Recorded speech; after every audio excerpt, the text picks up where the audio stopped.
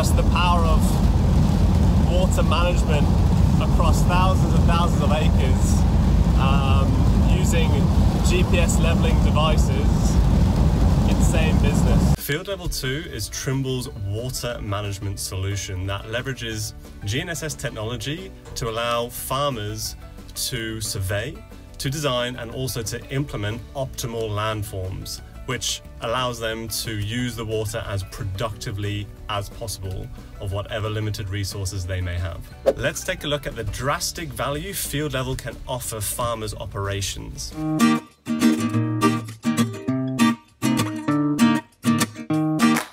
So there are clear values for implementing field level. Number one is irrigation. In this case, the farmer has all the water that they need. However, it could be better managed. Well, with field level, it allows you to choose exactly where to use it. Number two is drainage. So perhaps you have too much water and this could impact your soil health as well as your usable land. So using field level gives you the ability to even out your water drainage to prevent flooding and ensure an equal distribution of water across that land. Number three is field design. So perhaps you're thinking about starting a new crop or there's another opportunity on the horizon. Well, with field level, again, you can create a custom design for your field to ensure optimal productivity. Number four is repairs and touch up. So perhaps you're suffering from soil erosion issues or you're having to level out a previously leveled field again and touch it up or maybe um, clear out another drainage ditch. Well, again, field level has all those capabilities to allow you to do those jobs yourself. So now I'm going to reel out some statistics around water management and agriculture. 20% of world agriculture is irrigated.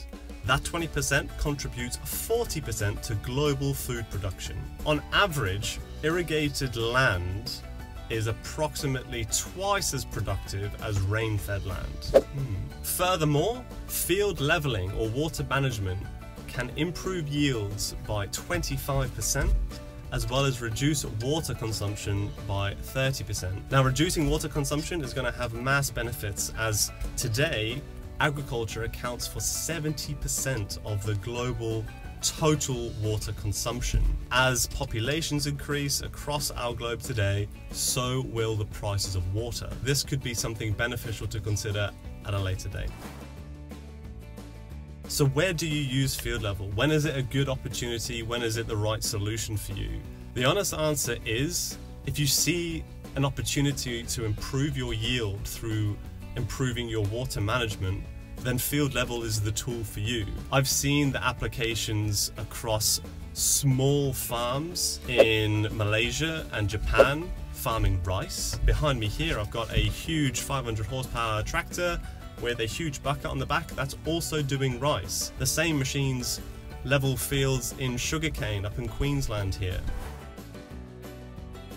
So many of you watching this may be wondering why GNSS leveling instead of laser leveling, which is a valid argument and a valid question. So let's see how field level compares to laser leveling. Number one, which is probably a big one, um, laser leveling setup can be as much as half the cost of a GNSS or a GPS leveling system. Field level 2 is a reasonably large investment at first. Secondly, laser leveling does not take into account the curvature of the Earth, whereas GNSS or Field Level 2 does. This impacts the working distance of each system because laser leveling can work approximately 500 meters from the base location, whereas GNSS or field level can work between 2 to 3 kilometers if necessary. Field level accuracy is also not impacted by ambient temperature or dust or wind or fog, whereas laser levelers are, which can be a massive annoyance when trying to complete a task. Laser also has a limited operational time, meaning that it is governed by daylight working hours. Whereas GNSS does not have this limitation and it will keep you going day and night if you need it to.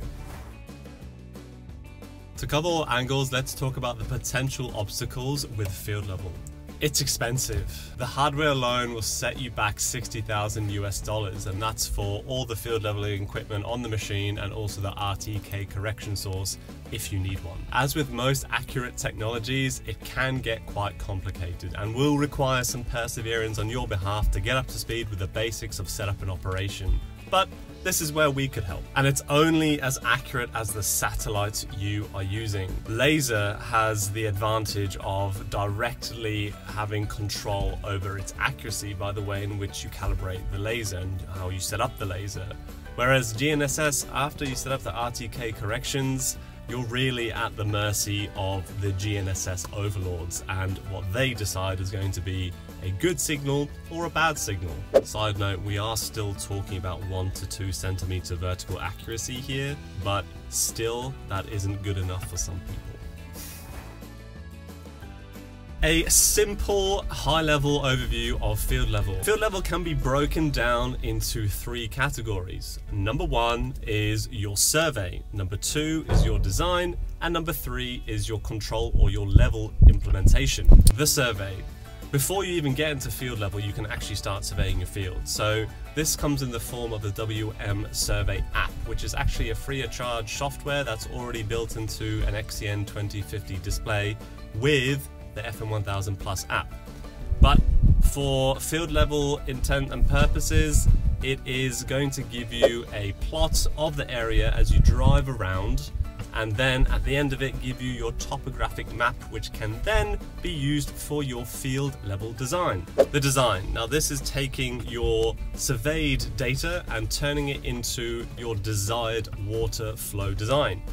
There are a few methods to do this depending on the complexity. For the real complex designs, you'll probably want to use a third-party software if you want to learn the ropes yourself. Things like Terra Design, Autoplane, um, Terracotta as well.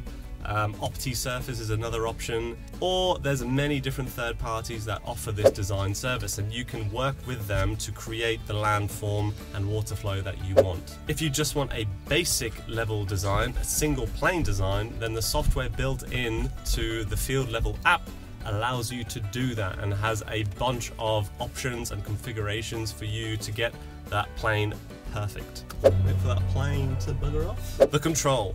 Now this is where you start to take action. This is the fun part. So the control is where you need a machine and an earth moving piece of equipment to actually bring your design to life. There are many different methods for control. Luckily, Field Level has them all covered for whatever configuration. Check out our other videos to see whether Field Level is the right option for you.